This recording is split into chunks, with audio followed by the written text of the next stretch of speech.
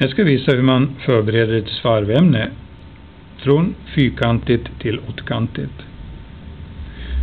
Det första jag måste göra det är att leta reda på mittpunkten eh, så att jag kan sätta den mellan dubbarna på träsvarven.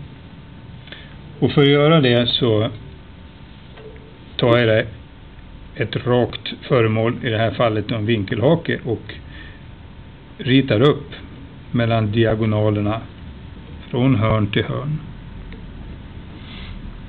Och då får jag en mittpunkt som jag markerar med ett sylmärke ordentligt. Gör likadant i andra ändan förstås. Nu ska jag ta fram ett pennstryckmått som kommer att hjälpa till att rita på linjerna då. Och för att ställa in det riktigt så ställer jag då så att pennan träffar mittpunkten och den andra delen ligger på ett hörn då, alltså inte från en sida utan från ett hörn.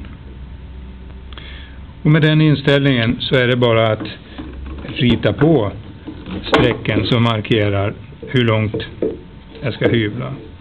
Och jag ser till att jag har gott stöd, ritar på hela vägen så här vänder på hela vägen så här. Gör så på alla fyra sidorna.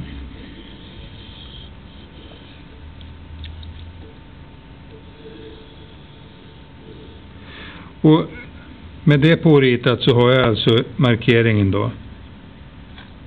Så långt jag ska hyvla ner. Och för att få ett bra läge att hyvla så spänner jag fast den mellan bänkhakarna. Ser till att arbetsstycket sitter ordentligt fast. Och använder mig av en rubank. Försöker hyvla hela vägen. Ända ner till strecken. På alla fyra kanterna.